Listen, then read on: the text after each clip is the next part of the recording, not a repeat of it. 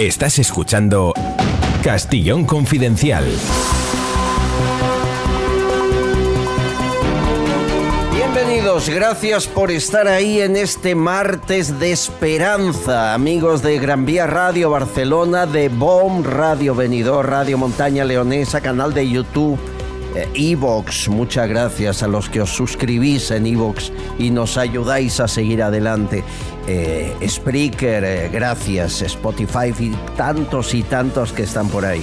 Miles cada día que escuchan este podcast que no tiene ni un año de vida, pero que nació en el momento más necesario, ¿verdad?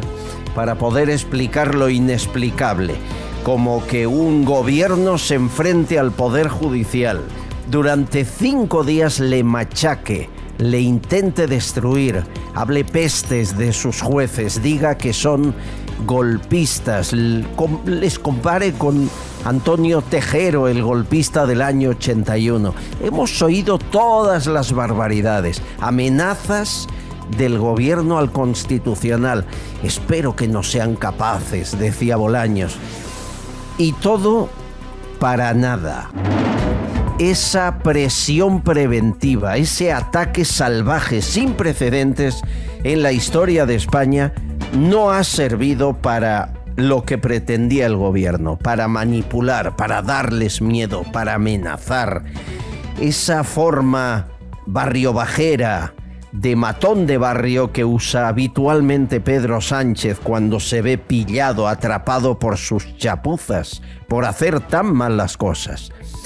Como saben, el Tribunal Constitucional admite a trámite el recurso del Partido Popular y rechaza apartar a dos magistrados, como se había dicho por aquello que Sánchez repitió todo el fin de semana de están eh, con un mandato caducado, no deberían estar, no deberían votar ni los seis recursos que presentó PSOE y Podemos han servido de nada. La mayoría del Constitucional permite avanzar sobre la cautelarísima del Partido Popular. Señores, esto es una victoria de la democracia en este país. Es una victoria del Poder Judicial independiente. Uno puede ser conservador o progresista, pero debería mantener la cabeza en su sitio y saber que si un gobierno totalitario como el de Sánchez quiere usurpar los poderes del árbitro del Estado, que es el constitucional, a esto se le llama autocracia, dictadura y golpismo. Y no permitirlo, pero ni el más conservador de los magistrados, ni Cándido Conde Pumpido tampoco. Esto es eh, lo que finalmente ha hecho, eso sí con la mayoría de los conservadores, para que nada ni nadie pueda con el único poder limpio de este país, el judicial. El Ejecutivo y el Legislativo ya saben cómo está. Tenemos el único gobierno social comunista de Europa y tenemos un Congreso que dicta leyes con una mayoría Frankenstein formada por exterroristas y exgolpistas. ¿Qué se podía esperar, no? con un país gobernado de esta forma? Bueno, pues que se mantuviese limpio el único poder que nos queda, el judicial, y por ahora aún mantiene alguna de su forma habitual. La abogacía del Estado está destruida por Sánchez, ya no están los mejores que podrían trabajar ahí, sino los más adeptos a las convicciones, se ha convertido en la abogacía de, de Moncloa. La fiscalía que les voy a contar cuando se ha colocado a dedo a ministros que lo estaban ocupando su cargo minutos antes. Bien, pues eh, hoy podemos decir con voz alta que al fin la democracia gana la dictadura, que al fin el judicial no se deja manosear por Sánchez. Prepárense para lo que van a oír en el día de hoy, ¿eh? ya lo saben los magistrados del Constitucional porque esta batalla no ha terminado, esto es solo eh, una batalla ganada, pero el fin de la guerra está muy lejos. Eh, aún faltan todos los trámites que van a suceder para ningunear al constitucional, para intentar callarle la boca, hundirle y destrozarle, que es lo que va a hacer este gobierno. Si de algo sirve la voz de un periodista que ha visto muchas cosas y que conoce a todos estos, yo conozco a Sánchez, he hablado con él y a, y a la mayoría de los que están ahí, a iglesias, a todos ellos, si de algo sirve, ayúdennos a defender la independencia de este país. Ayúdennos a apoyar a los jueces y magistrados del Tribunal Constitucional de este país. Solo ellos pueden sacarnos de esta. Europa está a por uvas, como habitualmente ocurre, y, y nadie va a parar los pies a este hombre. Y no podemos esperar un año a las elecciones. Un año y algunos meses a las próximas generales. España no merece ser tan maltratada. Bienvenidos a este martes de libertad en el que hemos vuelto a creer en el Estado de Derecho y en las normas que nos pusimos entre todos para defenderlo. Viva la Constitución de este país, viva el Tribunal Constitucional, viva España y viva el Rey. Bienvenidos, empezamos. Estás escuchando Castillón Confidencial Pide Taxi, la mayor flota de taxis de España. La rapidez y calidad del servicio está garantizada. Sigues el trayecto del taxi que has pedido sobre el mapa hasta que llegue a recogerte. Infórmate en pidetaxi.es y descárgate su aplicación. Garantizan el precio máximo de tu trayecto y puedes pagar con su aplicación con total seguridad. Descárgate la aplicación de Pide Taxi. Están ocurriendo muchas cosas. Parece que no lleguen las ansiadas vacaciones o el descanso navideño. Deberíamos estar hablando de paz, de amor, ¿verdad? Bien, pues entre ellas las estafas sobre la lotería que va a ser noticia de aquí unos días están creciendo como cada año por estas fechas. Nos alerta, para que no le ocurra a usted, Serafín Giraldo, inspector de policía, portavoz de H50. Hola, Serafín. Hola Albert, esta semana comienza la Navidad para la mayor parte de los mortales, para ti, para mí, para nuestros oyentes. Bien, es verdad que para muchos comercios ha comenzado hace un mes, con sus luces, con sus anuncios de rebajas y demás. También para los estafadores, comienza esta semana. Las estafas son de época, Así, por ejemplo, en verano hay unas estafas típicas, las de los pisos de alquiler fraudulentos, las de los viajes fraudulentos. Pues bien, ahora en Navidad comenzarán las estafas de los billetes de loterías falsos, de las falsas participaciones, la estafa del nazareno. En definitiva, las estafas son de época y los estafadores lo saben. Pero esta semana me ha llamado muchísimo la atención una estafa advertida por la Policía Municipal de Alcorcón que denunció un falso cartel publicitario que anunciaba ni más ni menos que en unos cines en concreto se iban a regalar 10 películas, 10 entradas, perdón, para el estreno de la película Avatar. Fíjate qué, qué ingenio de los estafadores. Aprovechan cualquier ocasión evidentemente para sacar su partido, para sacar su tajada. La verdad es que son ingeniosos. Pues bien, regalaban supuestamente 10 entradas y a cambio, evidentemente, pedían el número de cuenta. Claro, ¿para qué lo pedían? Pues para desvalijarte y te quedabas sin entrada, evidentemente. La Policía Municipal, muy bien, un 10, advirtió en Alcorcón la existencia de esta estafa, dado que en concreto se anunciaba para los cines de esa localidad.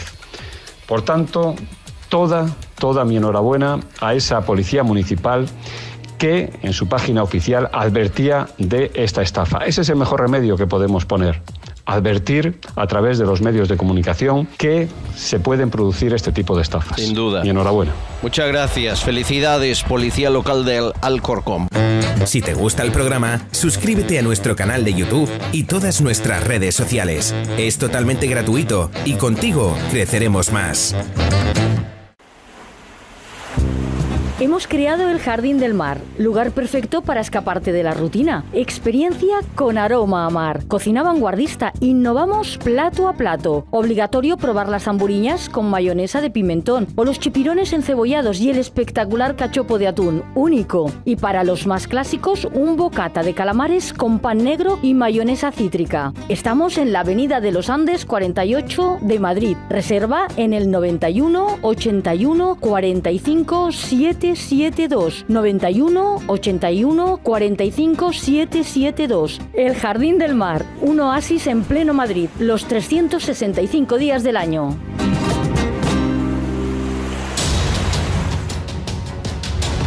Nacho Fuster Fabra es profesor de Derecho en la universidad, es abogado. Bienvenido, Nacho, ¿cómo estás? Bien, bien hallados, buenas tardes. Por decir algo, ¿eh? Sí, por decir algo. Nacho, ¿quién manda, el Congreso o los jueces?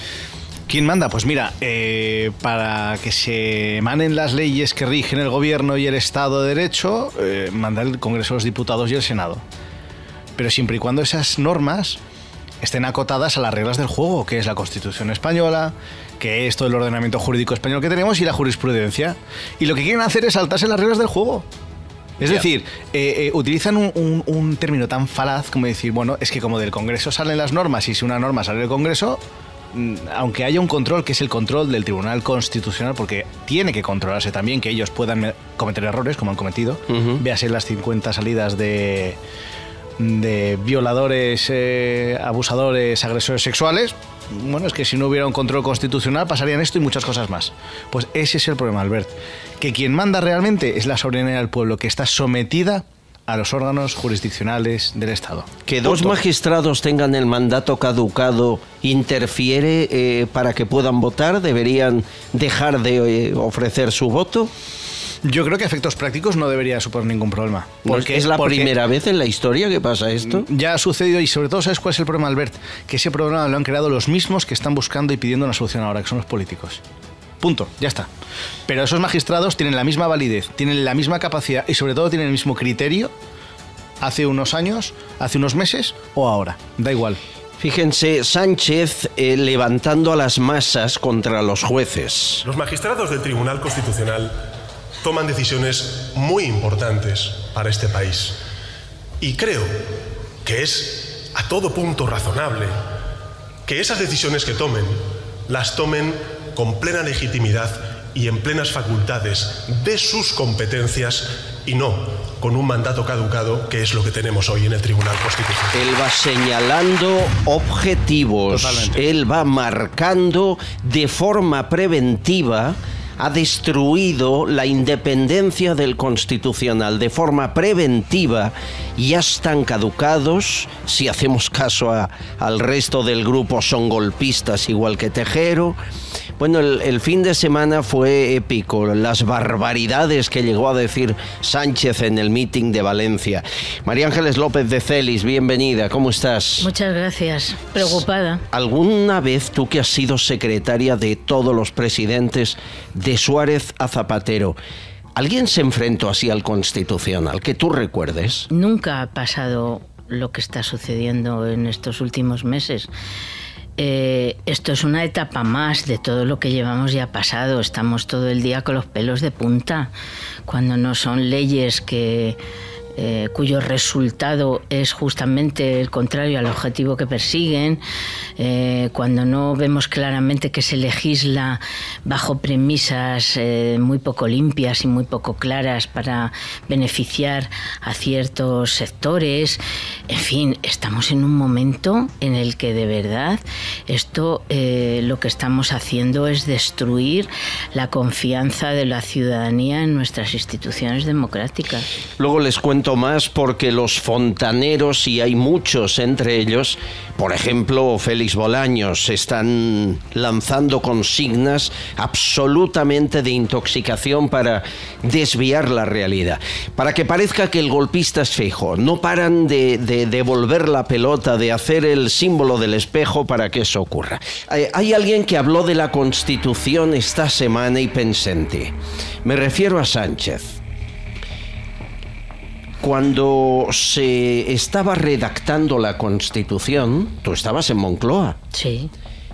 ¿Tuviste a muchos socialistas entre los ponentes? Vamos a ver. em,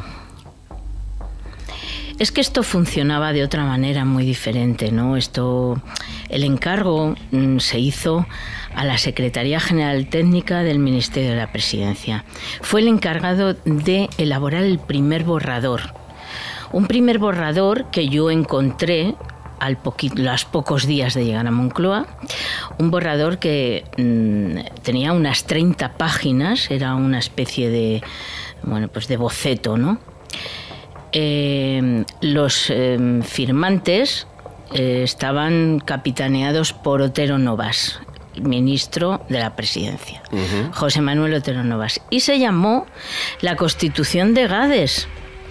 Porque cuando terminaron el borrador y se lo presentaron a Adolfo Suárez, se fueron a cenar al restaurante que tenía Antonio Gades y siempre se le bautizó como la Constitución de Gades. Qué bueno. A partir de ahí, ese fue un poco el embrión de lo que eh, después fue la Constitución. Quiero decir que esa Secretaría General Técnica trabajó en investigar básicamente cómo eran otras constituciones eh, europeas y demás, pues para copiar de alguna manera Pero a ver, ese trabajo. Hacedme memoria.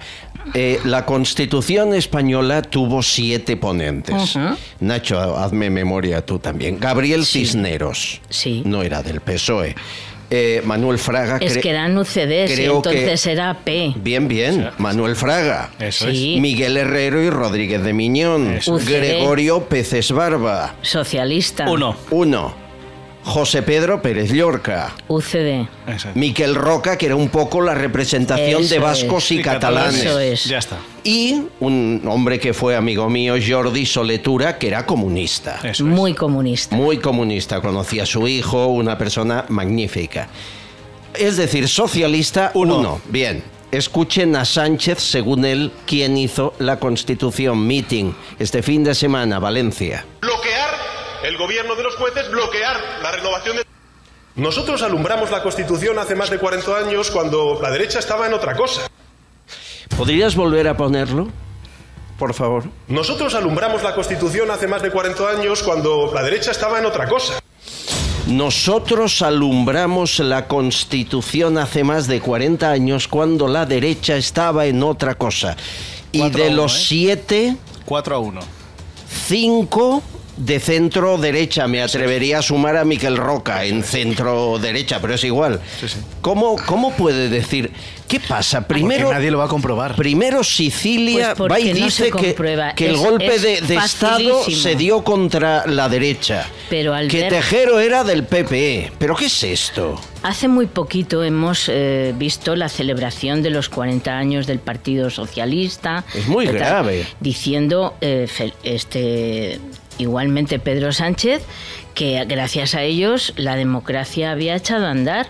Vamos, hasta donde yo sé, la, la democracia había empezado bastante antes. Y Es otros tremendo. fueron los protagonistas. Sí, pero de verdad esto puede calar en la gente, Nacho. Es decir, hay gente que creerá que Tejero era de Vox o de PP, porque lo han dicho en el Congreso, No. y que la Constitución la hizo Felipe González, que es lo que insinuó este Claro, hombre. pero ¿sabes cuál es el problema? Que ahora vivimos en una época de la información de Twitter, la información de Instagram, de redes sociales, que tienes 180 caracteres para contar qué es lo que sucede.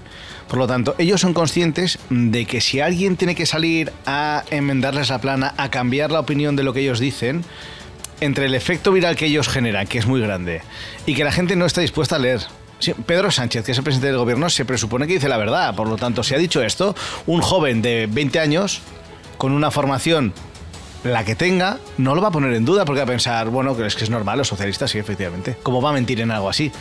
Pero es que ese es el problema, que hay que estar muy formado, hay que leer- levantarse todas las mañanas y leer muchos periódicos para darse cuenta en la gran mentira, en el gran hermano que estamos viviendo. Sí, sí, esto es un gran hermano. Aquí han montado un escenario. Dime. Ionizado, ¿eh? Además, eh, hoy eh, es una noticia que hay que desmentir, pero es que no hay tiempo, porque mañana por la mañana tenemos para Otra cosa. desmentir otra. Y entonces es como una especie de bucle que es imposible. Entonces al final todo se es- convierte no, en no, un pozo. y- y lo peor- y lo un pe- pozo de mentiras y de Chicos, pero inexactitudes. fake news que nacen de Moncloa. Ya, ya, Sí, claro. ya, ya, Tú, tú has estado ahí supuesto, por 32 supuesto. años. ¡Qué vergüenza! Pero Hay fake que news pedir desde el Estado, ¿eh?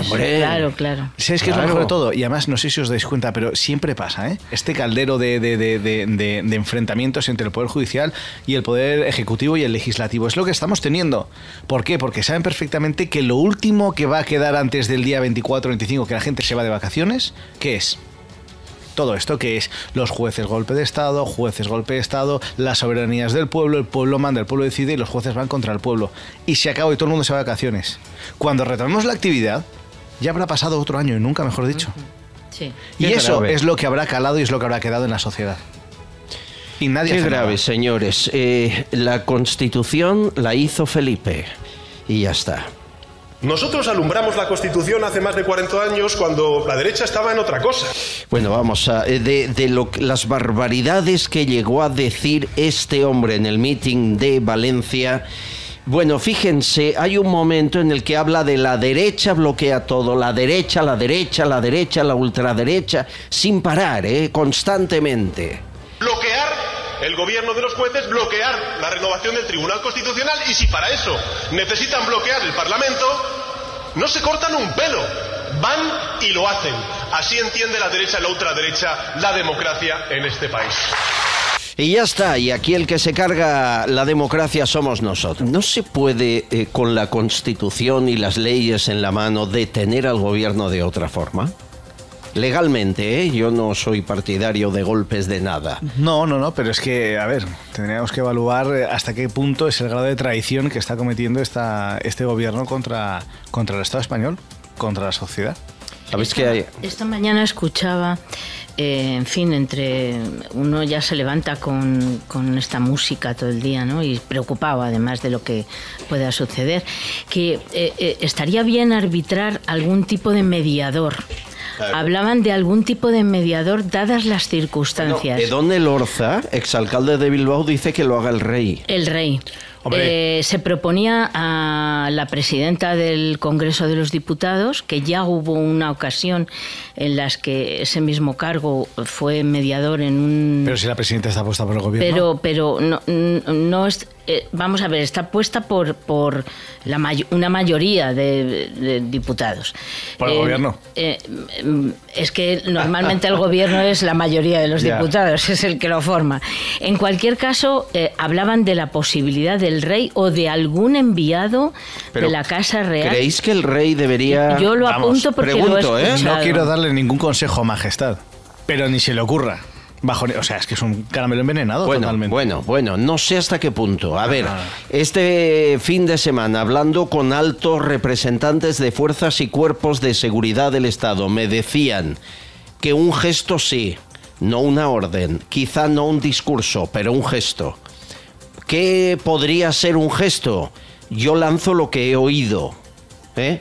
Imagínense que el rey da el discurso de Nochebuena en uniforme de capitán general del ejército de tierra. Es un símbolo, ¿no? No lo ha hecho nunca. Igual que ¿qué hizo don Juan Carlos el 23F. Vestirse de, de capitán general del ejército. Si el rey Felipe, en lugar de ponerse corbata, chaqueta y el Belén detrás, se viste de capitán general, está hablando de todo, aunque el discurso se lo revise Bolaños, que es lo que va a ocurrir. ¿No lo ves? Nacho es eh, quien más contactos tiene de lo que estamos hablando. A ver, eh, es que No, el- no, yo el- te el- pregunto. el deseo, sí, pero es un gesto hacia quién o hacia qué. Un gesto de Hacia la fuerza- sociedad española. hacia- es un gesto de, de empatía. De Félix sí lo ve. Yo sí. ¿Y sabes por qué? Porque la ciudadanía... O sea, me gustaría que lo hiciera, pero ¿sabes cuál es el problema? Que no quisiera que fuera el inicio del fin. Que no le hagan daño a él, ¿no? Ya.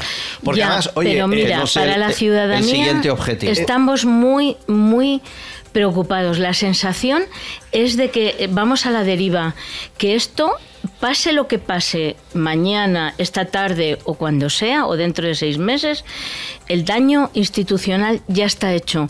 No podemos, la ciudadanía no entiende de disposiciones transitorias, no entiende eh, de muchas cosas que hoy estamos oyendo, de medidas cautelares No se, no se entiende. Lo que sí que vemos es que cada vez que se reúne un organismo, un órgano fundamental de los poderes del Estado, se sientan en bancadas. Ya es una, una especie de costumbre eh, cada vez que se reúnen. Estamos en bancadas, yo te tiro los trastos a ti porque tú me los vas a tirar a mí. Y esto, esta deriva se tiene que terminar. Tiene que haber alguna forma de torcer es, esta dirección que llevamos, que es al abismo total. Esa es la sensación que tiene Sí, la gente normal. De acuerdo pero a ver, eh, yo el otro día estaba viendo, repasando redes sociales y de repente vi otra vez la entrevista que le hicieron a Pedro Reverte en televisión, la última que le hicieron. Sí, yo y hablaba de Pedro. Sánchez, ¿no? Y dice que es un pistolero. O sea, Sí, que, sí. que es un personaje novela que es el, el peor personaje que te puedes encontrar, pero de, de malo, de, de- de- de maldad. O sea, es una persona que no tiene ningún tipo de, de- de- de escrúpulo en cargarse incluso a sus propios sicarios, hablando en términos literarios, Sí, ¿no? Que le y pregunten decía- y decía- y a Ábalos. Claro, a Ábalos o a, o Iván Redondo. O, o a Carmen Calvo. O a Carmen a- Calvo. Y suma y o a ¿eh? Pepe Blanco, todos los que Claro. le llevaron donde está se los Se ha los ha cargado. cargado. Y la pregunta, y luego él decía, y el rey sigue ahí porque le resulta interesante. La pregunta es, una persona que tiene el ego inversamente proporcional al tamaño de altura que tiene el presidente, ¿qué pasará si empieza a hacerle sombra al rey? No ha tenido... Bueno, bueno, bueno, estamos ya... Pero es que no podemos estar con un análisis ya tan, tan...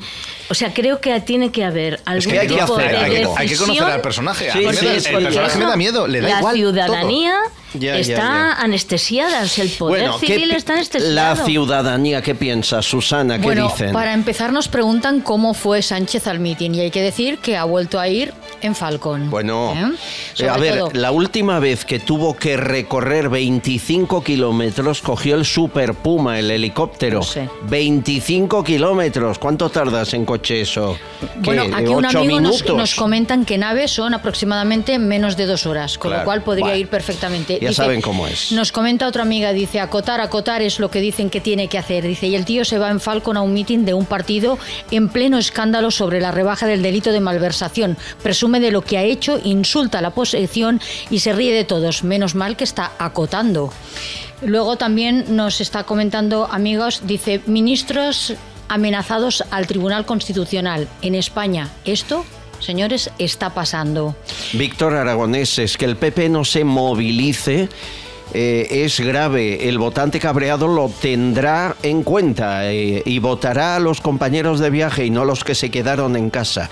Ya veremos. Paco Rúa en canal de YouTube. Dentro del PSOE no hay huevos, dice. Son todos exactamente iguales. Todos hablan, pero será por dinero, ninguno da la cara.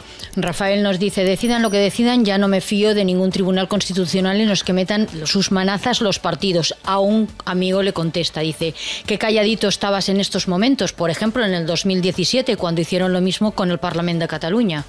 Nastimigui dice, el PSOE de Sánchez no va a permitir un cambio de ciclo. Y si sales del aparato, ¿a qué te vas a dedicar? Eh, es cierto eso que dicen, ¿no? Hace mucho frío fuera del PSOE. Como te desvíes un poco, te cortan la cabeza. Y el último nos dice, es sorprendente la de gente que no ve o no quiere ver que las leyes, la justicia y las instituciones están para protegernos de los políticos corruptos elegidos democráticamente. Son muchos los mensajes con la misma opinión JRG. Si Ayuso fuese presidenta, sería la única en mover a la gente, pero con Sánchez sin escrúpulos y Feijó pasivo, la suerte está echada. Veremos qué ocurre. Es verdad que Feijó ha subido un poquito el volumen. Un poquito, un poquito. Hemos tenido que estar a punto de destruir el Estado y machacar a los jueces, pero bueno, parece que está vivo. Defenderé los pilares de la democracia en el Tribunal Constitucional. Volveremos a denunciar lo que está pasando en Europa y llegaremos hasta donde haga falta para cumplir nuestro deber de cumplir y hacer cumplir la Constitución en España. Bueno, algo es algo. Es poco, pero algo es algo. Que es que hasta hoy Es que lo has dicho tú, Alberto. lo es que máximo estamos- era un tuit. Estamos esperando a que arda España, estamos esperando a que haya un cataclismo para que alguien diga algo. También te digo una cosa, echo de menos también al resto de partidos, ¿eh?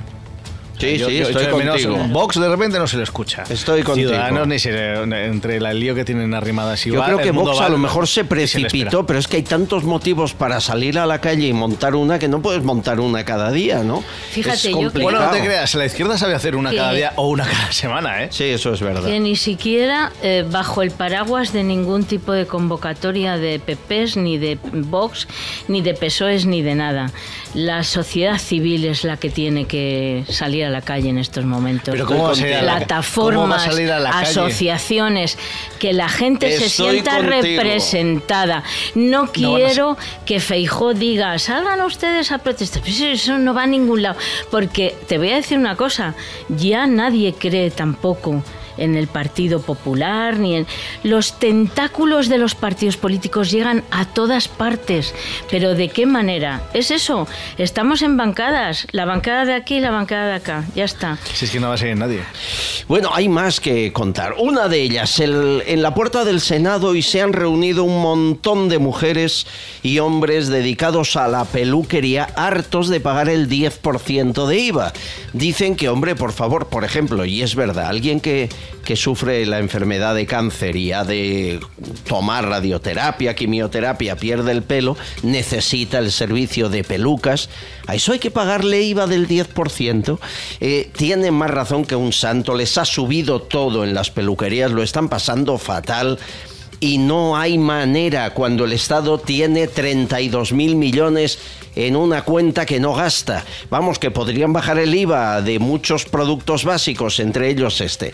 Silvia... Pero, pero, pero el cine subvencionado. Sí, el cine subvencionado, que por cierto, desde que lo subvencionaron no bajó ni un céntimo el precio. Amén. Porque sigue es. valiendo lo mismo. Es decir, alguien pagó- se quedó con más Y, pasta. ca- y cada vez Distribuidores. menos, y cada vez menos Es que si te bajan el IVA y al menos bajan el precio, pero de eso nada. Bueno, peluquerías. Silvia Muros. eh, hoy han protestado ante el Senado. Hola Albert. Esta mañana el sector de la imagen personal se vuelve a concentrar ante el Senado para reclamar la bajada del IVA para el sector. Con las pelucas y postizos que utilizamos en los tratamientos oncológicos, reivindicamos el carácter de servicio esencial de las peluquerías, lo que debería permitirnos recuperar el IVA reducido tras más de una década de temporalidad, contando con el apoyo de todos los partidos políticos y que debería de hacer entender al Gobierno que ha llegado el momento de incluir la bajada del IVA a las peluquerías, las barberías y los salones de estética en los presupuestos generales del Estado de una vez por todas. Pues estamos de acuerdo. Muchas gracias por eh, lanzar tu voz. ¿Por qué crees que lo hace Nacho? ¿Por qué teniendo mucho dinero recaudado más que nunca por la inflación, etcétera, eh, no tiene estos gestos? Yo soy de los que cree que los tendrá a un mes de elecciones. Es decir, que se está guardando una batería de cheques, de bajadas de IVA, etcétera, a un mes de elecciones para que le voten un poco a cambio de.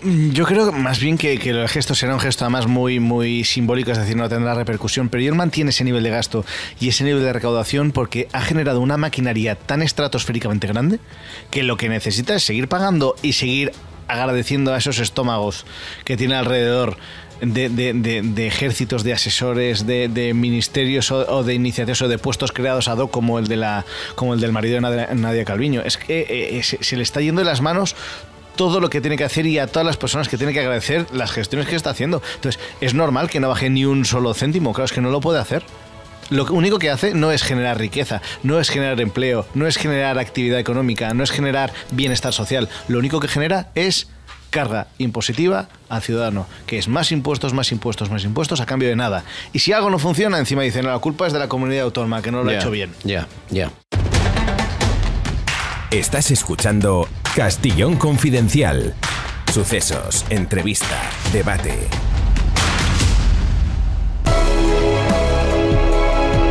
Vichy catalán, agua buena, el agua que merece su organismo, que aporta las sales minerales que perdemos haciendo ejercicio con la vida diaria. Vichy catalán antes se vendía en farmacias hace años porque tiene muchas ventajas demostradas científicamente. Rebaja los niveles de colesterol malo, combate la osteoporosis, reduce la acidez de estómago. Vea todos los informes médicos en la página web bichicatalan.es. Es agua con gas, pero con gas. nacido de forma natural en el fondo del planeta. Vichy Catalán, posiblemente la mejor agua del mundo.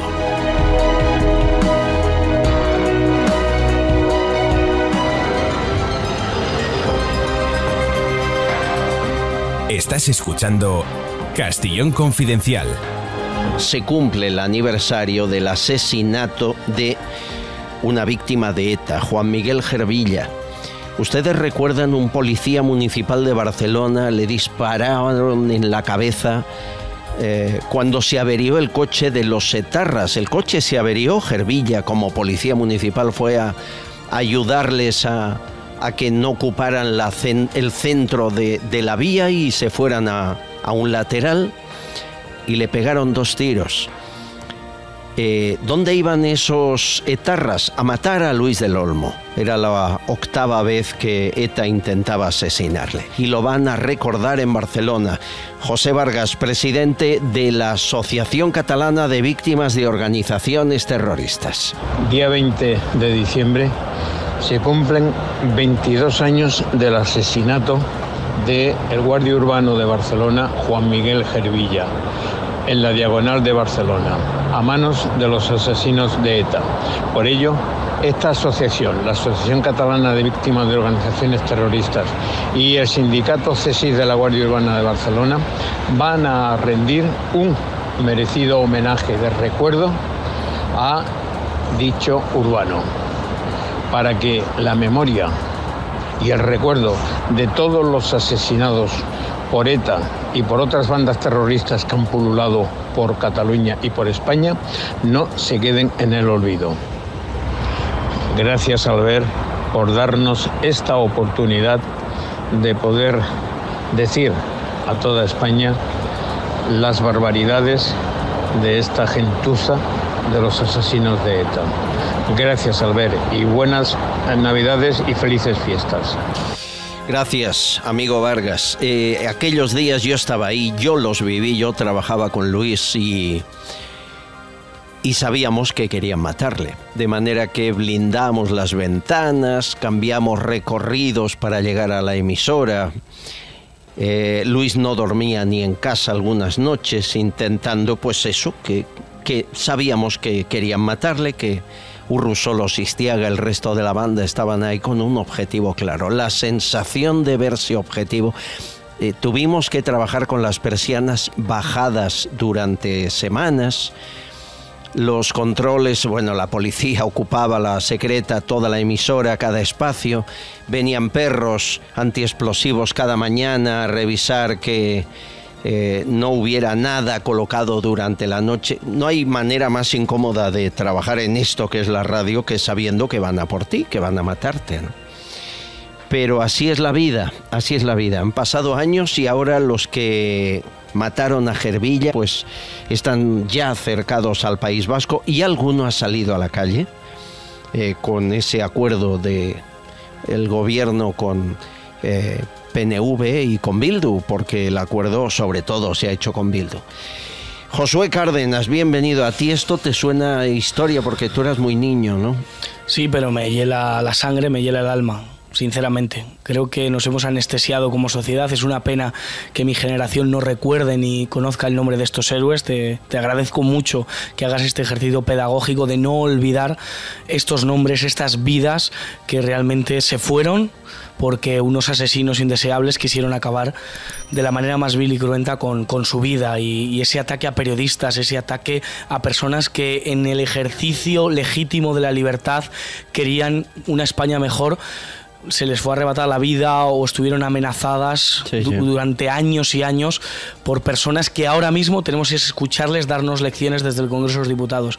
Es una auténtica vergüenza y ni olvido para, para todas estas víctimas que, muchas gracias Albert por, por ponerlas en, en la palestra y, no olvidarnos de ellas. Es historia de España, tú sí la has vivido, de Celis, tú sí, mejor que yo. Muchas cosas, por supuesto. ¿Tú has mirado debajo del coche también? Hemos mirado debajo del ¿Verdad? coche Como mientras yo. trabajaba en Moncloa, nos arengaban los servicios de seguridad todas las semanas para que no olvidáramos tener en cuenta las normas que deberíamos seguir cuando recibiéramos en casa cartas, paquetes, eh, revisar los bajos del coche. Durante mucho tiempo mi marido era el que se subía al coche el primero y el niño y yo esperábamos hasta que mm, giraba la llave esperando que no pasara nada. Los funcionarios de Moncloa va- hay un servicio autobús que hace dos paradas en Argüelles y en Moncloa antes de seguir camino al Palacio de la Moncloa y tiene unos horarios eh, que conoce todo el mundo y entonces no había inhibidores ni nada de eso, Claro. entonces éramos objetivo clarísimo. Y fácil. Y muy fácil, vamos. Hemos vivido así los españoles durante muchos años. Y ahora mismo que Josué estaba diciendo que efectivamente le pilla, en fin, lejos esto, ¿no? Eh, desde la Dirección General de Apoyo a las Víctimas del Terrorismo hemos intentado por todos los medios eh, poner un poco de, de, en fin, de bálsamo a todo esto, ¿no? Y que la memoria de la gente joven, pues no se vaya perdiendo. Y es eh, Pero hay mucho por hemos hacer, ¿eh? hecho el Ministerio de Educación y el Ministerio del Interior en colaboración para añadir en los textos eh, de los últimos cursos de- Mm. del bachillerato eh, unas referencias en, en los programas de historia sobre el terrorismo en España y ya Bueno, se ya publicó hace mucho tiempo y eso está funcionando y está funcionando bastante bien.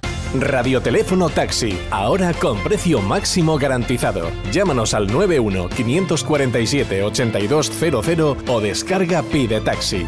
Más información en rttm.es. El constitucional en el punto de mira. Lo que me preocupa es este daño que, mm, que ya está hecho y que pase lo que pase eh, es muy difícil de enmendar. Ya nadie, la confianza en las instituciones está, vamos, hay un descrédito total, la gente ya no se cree en nada. Todo el fin de semana sin parar. Aquí estamos ante un intento de atropellar nuestra democracia por parte de la derecha, no solamente de la derecha política, sino también de la derecha judicial, jaleada por la derecha mediática, y creo que esto es inaceptable. Tú eres la derecha mediática. Bueno, Pero- yo creo que también, ¿no? Sí, la también. extrema derecha mediática. Somos, ¿sí? Somos. No me digas. Pero me da, me da tanta pena que el presidente del gobierno utilice esa terminología para referirse a, en este caso, a una oposición que evidentemente política, que está cerca de la derecha. Pero ¿cómo que derecha judicial? Pero, pero usted cree en la independencia judicial, ya se ve que no. Ya se ve que no, porque ¿qué hace usted acusando de existe una derecha judicial? Esto sí que es conspiranoia. Este hombre se cree que se reúne un juez, un periodista y, un político y entre los tres conforman un contubernio para echarle del poder. Que no, señor Sánchez. Que existe una justicia la cual tiene todo el derecho a poder revisar lo que usted comete, lo que sale del Parlamento. Y por lo tanto vamos a dejarnos de esa terminología guerra civilista de o yo o el caos, yo o lo malo, o yo o el apocalipsis. Es que, de verdad, eh, lo ha dicho decir muy bien, ha- se ha caído en el descrédito absoluto. Ya no hay nadie que pare la locomotora de, de- de este gobierno con- contra y, las libertades. eh, lo peor de lo que está ocurriendo, señores, son las prisas, ¿eh? porque eh, del indulto aquí, de los indultos aquí, que han pasado tres meses, de nunca pensamos que se atrevería tanto en tan poco tiempo. Mm, prisas motivadas, dicen unos, por la presión de Esquerra. Porque así lo hacemos todo de golpe y después se olvidará el votante, ya repartiremos cheques, ya tiraremos el dinero público. ¿Creéis que es eso el motivo de la prisa? Porque no tiene por qué variar la malversación, evitar la se- sedición, estar negociando el referéndum. Hoy mismo ya saben que también Félix Bolaños se está negociando con los golpistas del procés que recuperen su escaño, retorciendo eh, la ley de enjuiciamiento criminal. ¿Por qué tanta prisa, Celis? Porque, porque está manipulado, todo está manipulado y está claro que es un año electoral y hay que hacer las cosas rapidito para que efectivamente después los sondeos pues eh, vuelvan a equilibrarse mínimamente, ¿no? Porque ahora, eh, vamos a ver, vosotros entendéis que la gente normal es que yo siempre estoy en el lado de la gente normal. ¿Entiende nada de lo que está sucediendo? No. ¿Tú sabes lo que son las medidas cautelares, cautelarísimas? ¿Tú sabes lo que es una disposición transitoria? ¿Tú sabes lo que son las diligencias judiciales? Eso lo entienden quien los entiende. La ciudadanía normal no sabe de nada de esto, no entiende el procedimiento. Lo único que entiende es que hay unos señores que son del PP y unos señores que son más cercanos eso es lo que no puede ser. Quiero decir que los tentáculos de los partidos políticos no pueden llegar hasta las instituciones de esa manera tan descarada, porque entonces la independencia del Poder Judicial, ¿dónde está? En ningún sitio. ¿Y quién cree en la independencia del Poder Judicial hoy? Absolutamente nadie. Y eso es un daño irreparable. Mm. Así que yo lo único que os puedo decir es que mm, no cabe la posibilidad de que un juez, un magistrado, eh, que sea partidario o esté más cercano al Partido Socialista, usted no puede pensar que en este momento pueda votar a favor de ese recurso para que se revisen esas leyes que se están aprobando de una manera extrañísima. Pero si es que se puede ser socialista, y no entrar en ese juego. ¿Por qué? Porque muchos socialistas ahora mismo se rasgan las vestiduras con todo lo que está pasando. Esperanza Aguirre ha hablado, les da pistas de cómo resolverlo. Y yo creo que Isabel Díaz Ayuso ha dado un lema que está muy bien, Sánchez o España. Y yo creo que tenemos que decir España o Frankenstein. Pues un poco es eso, Sánchez o España. Miren, les doy una pista más. Los eh, secesionistas, los golpistas del procés, ya le han dado hasta una fecha a Sánchez para el referéndum. Cójanse fuerte. ¿eh? Yo les advertí, se lo vuelvo a contar, el 20 de enero creo que fue, del 2020. 2020, esto se firmó en un documento en el acuerdo Esquerra con el gobierno, que estaba el PSC, PSOE y Esquerra Republicana, se firmó la hoja de ruta que se está cumpliendo. Fecha prevista si sigue Sánchez para el referéndum. Septiembre del 2024. ¿Qué quiere Esquerra? Que lo deje todo atado y bien atado por si no sigue. ¿Cómo hacerlo? Dominando el constitucional. Ni más ni menos, Josué. Esa es la estrategia. Septiembre del 2024 van a dar un golpe de Estado a separar España y buscan que nadie les lleve la contraria. Claro. Y en esa batalla estamos ahora. Mientras el constitucional está reunido con una cosa tan pequeñita como ese recurso de amparo del PP, en el fondo lo que se pretende es algo tan grave como dividir este país que un 4% de españoles decidan por 47 millones. Poner fronteras para seguir con el negocio. Hay quien me decía en Cataluña una fórmula para que abandonen toda opción. Y es ofrecerles eh, la independencia sin pasaporte español porque están locos por la doble nacionalidad. Perderían un montón de privilegios si abandonan el pasaporte español, hasta la moneda, todo. Sería un caos. Cataluña se hunde, ¿no? Eh, en el fondo, seamos eh, realistas, esto es un acuerdo por pasta. Aquí se negocia dinero con el que viven muy bien y vivirían mejor si vivieran independientes, ¿no? Yo lanzo un mensaje. España no cabe en una urna la unidad de España es como los derechos que todos nos hemos dado, como el derecho de manifestación, como el derecho de libertad de expresión, como el derecho de reunión. La unidad de España no se toca, no se negocia. No tenemos la capacidad de votarla. Votar significaría la fractura total y absoluta y por lo tanto no queremos votar y no vamos a votar. No se vota nada, ni votamos en Murcia, ni votamos en Cataluña, ni votamos toda España, no o se cumple o hay unas consecuencias. Y en este caso, aquellos que lleven a cabo ese plan, que mm, tú has relatado perfectamente, pero que desde 2018, desde aquella moción de censura, desde aquella línea de, de aquella sentencia de la cual se aprovechó el PSOE, se ha seguido al dedillo para que acabemos como estamos. Y el plan se consuma, acaba con ese referéndum, consulta pactada, para que Cataluña se convierta en una especie de Australia para con eh, la corona inglesa, pues con la corona española. Así que hay que parar los pies. Yo espero que en Nochebuena el rey esté a la altura y el rey vestido de militar sea capaz de parar este golpe. Apelo a ello. Si te gusta el programa, suscríbete a nuestro canal de YouTube y todas nuestras redes sociales. Es totalmente gratuito y contigo creceremos más.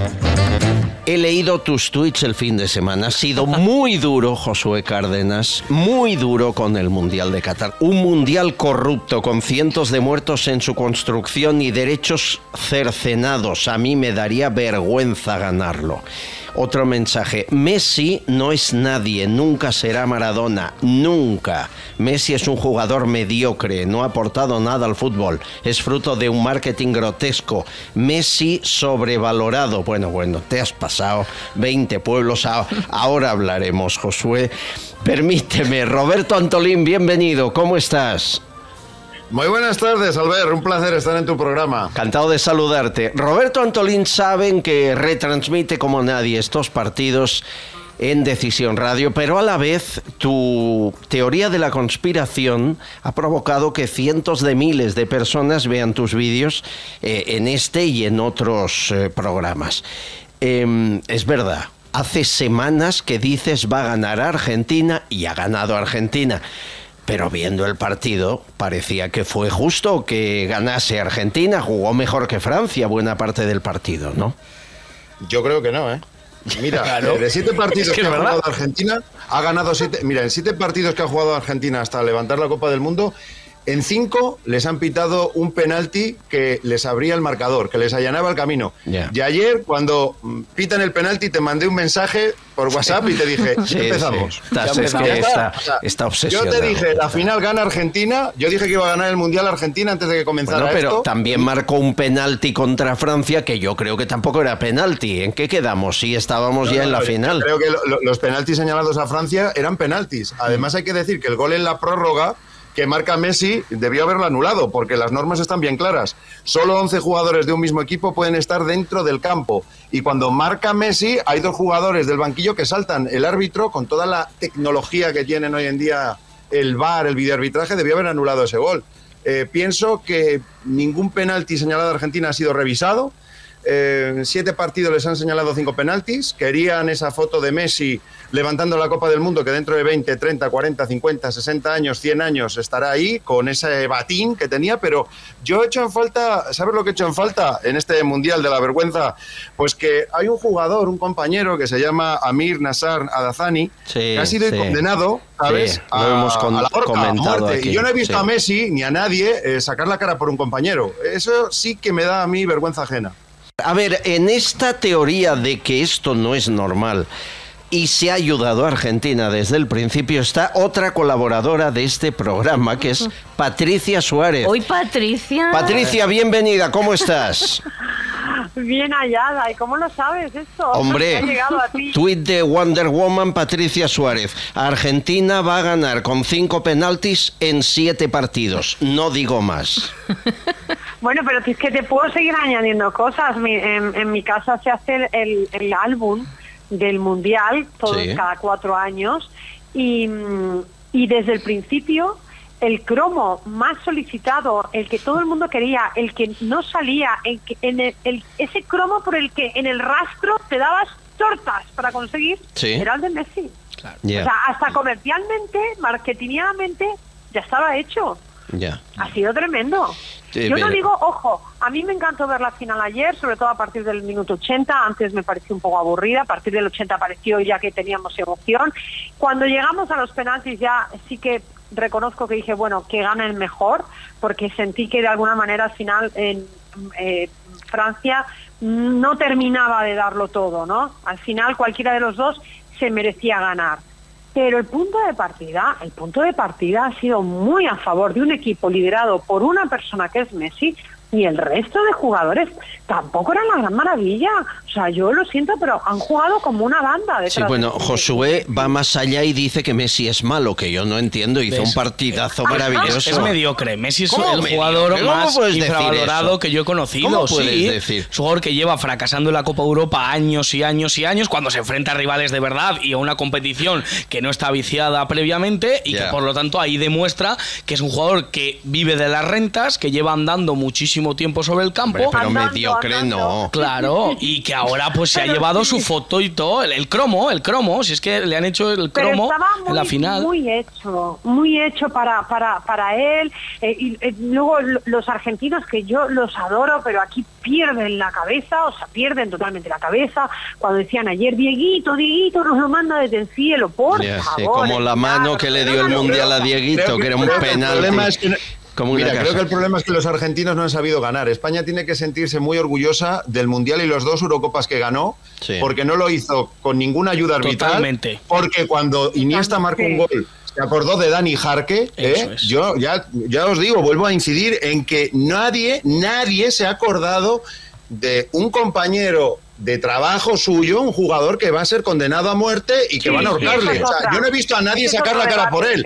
Y, luego sí que he visto insultar a Mbappé, creo que los argentinos no han sabido ganar, eh, insultar a Camavinga, o sea, todo eso sobraba. Pero incluso, no, sé si recordáis, el año que España ganó el Mundial, resulta que le dieron el balón de oro a Messi, cuando a mí me vais a perdonar, pero el balón de oro de, de aquel año era Iniesta. Total. O sea, siempre ha habido... O sea, yo hay, hay momentos que Ronaldo, pareciéndome bastante estúpido en general y bastante pedante, no, no, no, yo lo entiendo, yo lo entiendo, porque el tío lleva viendo como esa discriminación claro. del gran Messi, el pobrecito Messi, y el otro se revuelve en la cinta, dice, pero bueno, es que yo qué tengo que hacer ya.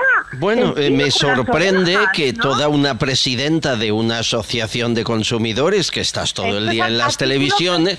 Sí, sí, muy título personal, pero hay una parte de ti conspiranoica y eso me gusta porque nos iguala.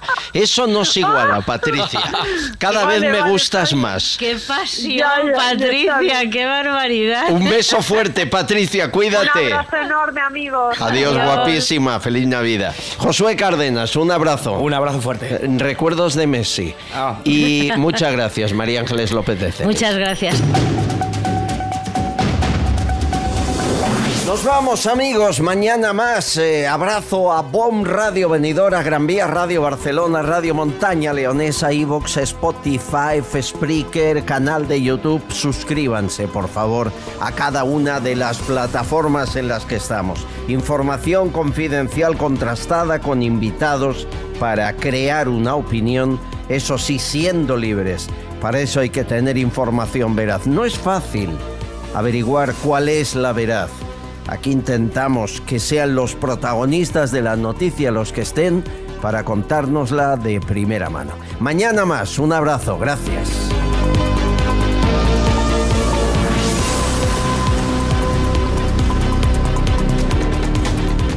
Estás escuchando Castillón Confidencial. Sucesos, entrevista, debate